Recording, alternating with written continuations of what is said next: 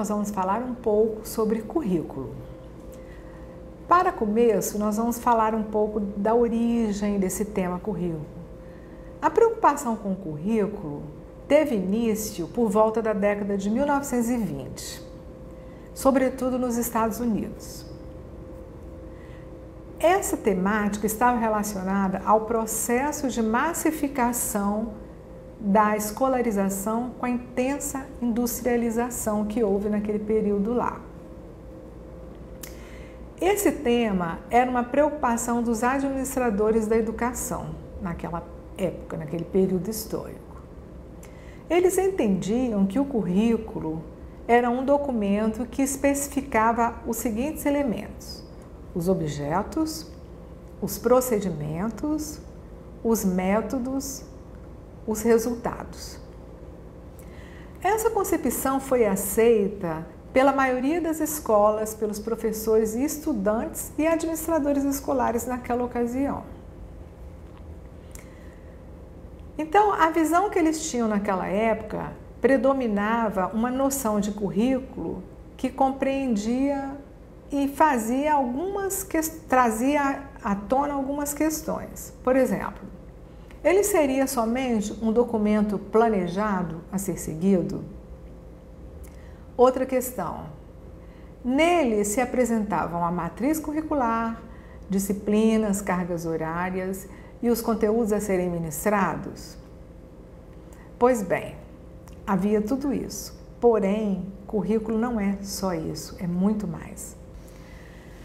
Em seguida, aquele conceito foi ganhando uma expressão e uma importância no processo educacional e ele passou a se constituir como um campo de estudos e de pesquisas. Ah, daí surgiram diversas teorias para questionar o currículo e para tentar explicá-lo. Inicialmente, as teorias buscavam explicar os seguintes aspectos: qual conhecimento devia ser ensinado, o que os alunos devem aprender, qual conhecimento ou saber é considerado importante ou válido para merecer ser considerado parte do currículo. Ou seja, para fazer parte do currículo, aqueles pesquisadores, aqueles estudiosos faziam essas perguntas. Né? E respondido aquelas perguntas, eles passaram a se preocupar e a justificar a escolha por tais conhecimentos e não por outros. Por que, que se escolhiam alguns saberes e deixava-se de lado outros. Também havia uma preocupação com que tipo de aluno a escola desejava formar a partir daqueles conhecimentos escolhidos. Desse modo, fica evidente que o currículo está relacionado, primeiro, ao modo de pensar e ao posicionamento político dos sujeitos professores e do, dos administradores. E também a, como se dá o desenvolvimento, né? o nosso desenvolvimento, o desenvolvimento do ser humano e a quem nos tornamos. Essa última é, tônica está voltada para os sujeitos alunos. O currículo abrange tudo o que ocorre na escola. Todas as atividades programadas e desenvolvidas pelos alunos. Ele também aborda as questões relacionadas às aprendizagens dos conteúdos escolares.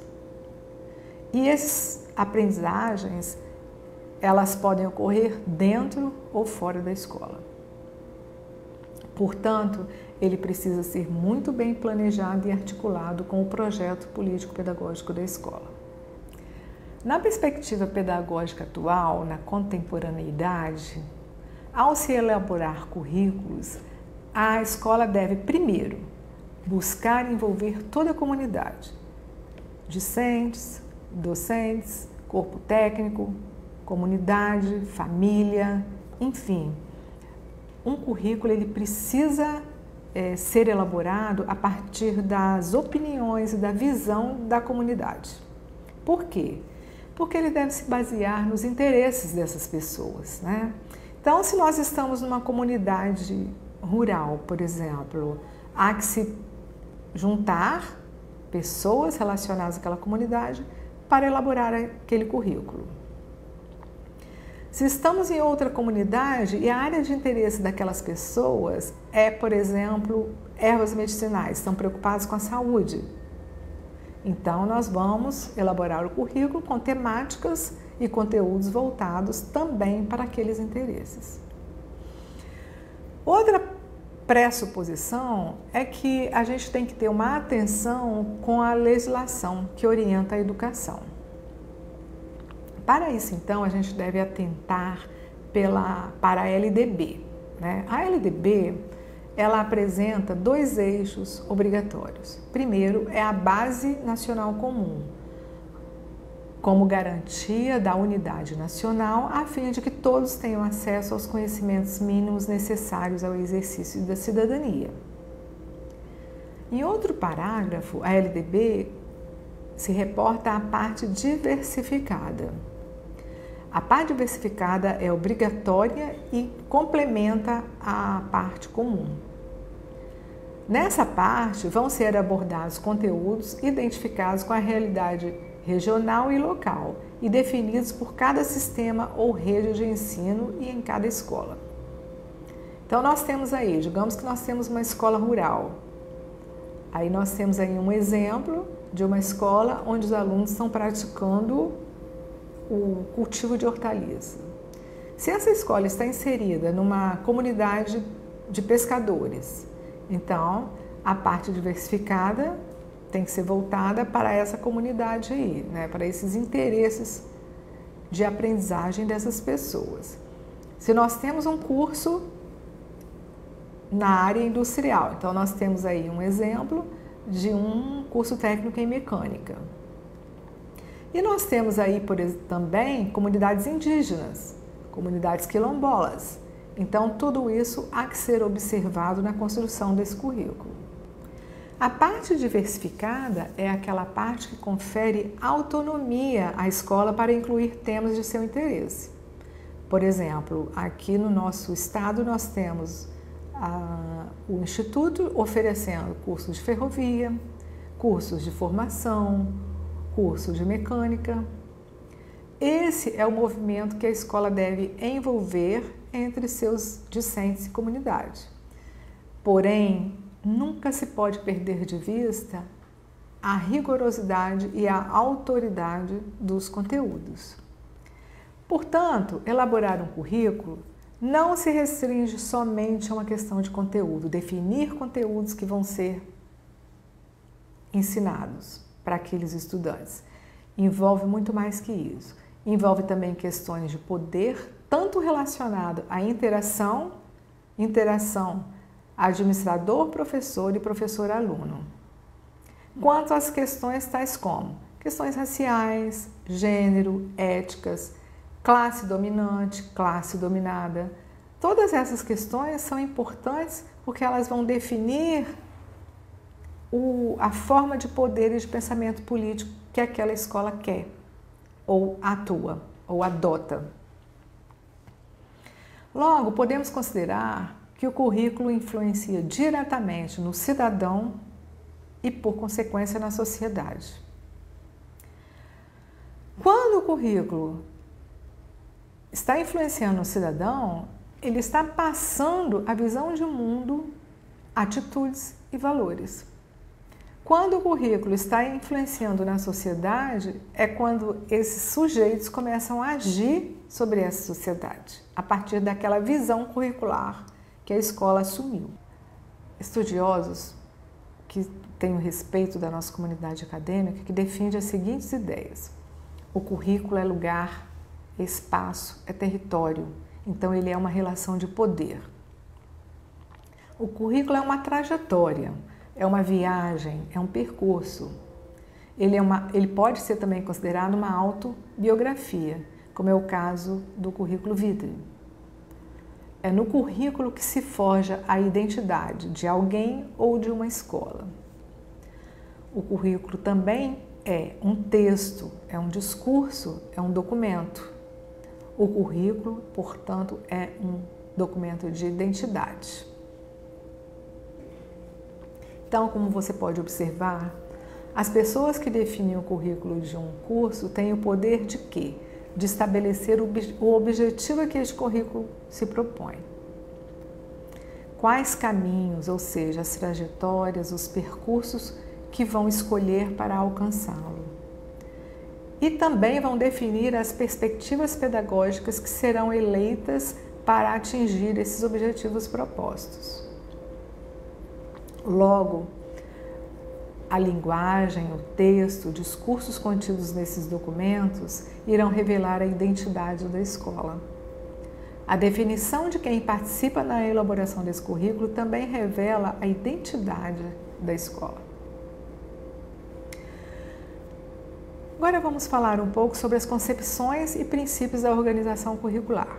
Há várias formas de se organizar um currículo, dentre as quais destacam-se no Brasil a multidisciplinar e a pluridisciplinar. Vamos ver o que é isso. Multidisciplinar é um modelo fragmentado, onde há justa posição de disciplinas diversas sem relação aparente entre si.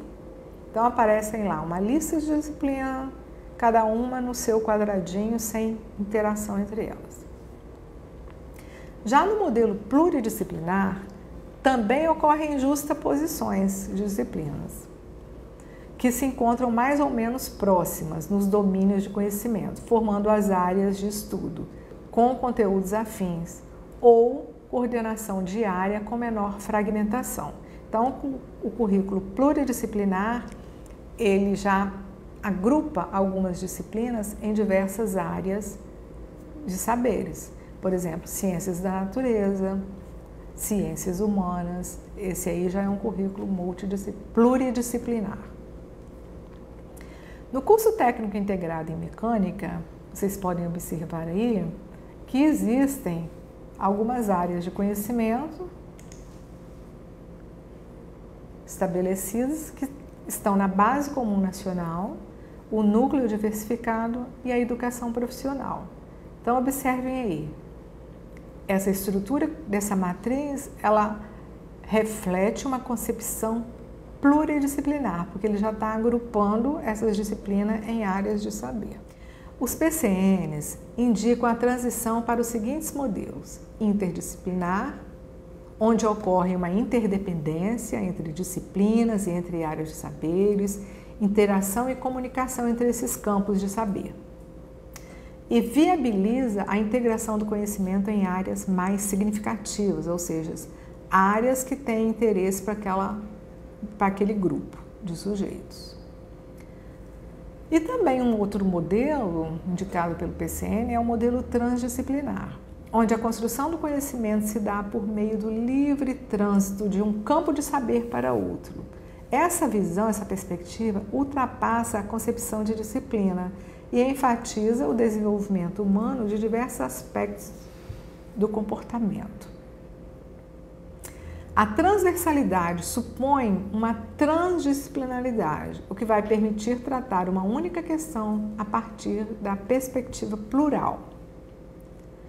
Então aí surge a abordagem dos temas geradores ou temas transversais, que perpassam os objetivos, os conteúdos e as orientações didáticas dessas áreas.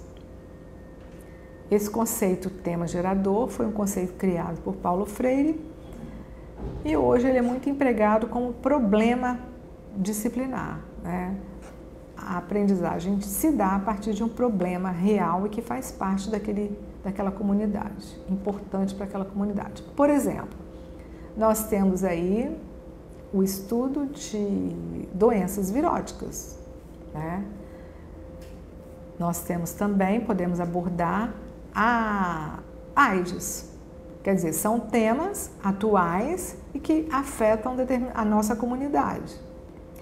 Nós também temos o tema da diversidade cultural, né? que pode ser utilizado como tema gerador. Nós podemos também fazer uma, uma interação né, entre o agronegócio e o cuidado ambiental. Então, são perspectivas pedagógicas que utilizam temas geradores que nada mais são do que problemas que precisam ser investigados. Nem sempre os temas geradores são problemas. Né? Nós temos também questões que pode ser aproveitada no ambiente escolar pela escola pelo grupo de professores que se interagem para poder construir um conhecimento. Essa perspectiva curricular, ela requer comprometimento de toda a comunidade escolar com o trabalho em torno dos grandes temas definidos pelos PCNs. Então nós temos aí, lá nos PCNs nós temos saúde, meio ambiente, ética, orientação sexual, pluralidade cultural, que podem ser particularizados a partir do contexto de alunos e professores. O currículo formal. O que seria o currículo formal? O currículo formal é um conjunto de prescrições oriundas das diretrizes curriculares. Elas são produzidas tanto no âmbito nacional quanto nas secretarias e na própria escola. Elas são indicadas nos documentos oficiais, nas propostas pedagógicas e nos, nos regimentos escolares. Nós temos também uma outra, um outro tipo de currículo, que é o currículo real. Ele consiste na transposição pragmática do currículo formal. É como é pegar o currículo formal e levar ele para a prática. Esse é o currículo real. É aquele que realmente ocorre na instituição. Ele depende da interpretação que professores e alunos constroem conjuntamente no exercício cotidiano da sala de aula ou fora da sala de aula. Ele também passa pelo enfrentamento das dificuldades, sejam conceituais, materiais e das relações professor-alunos e entre alunos. Eles são a síntese construídas por professores e alunos a partir dos elementos do currículo formal e das experiências pessoal de cada um. O que seriam essas síntese? Seria a concretização daquele conhecimento.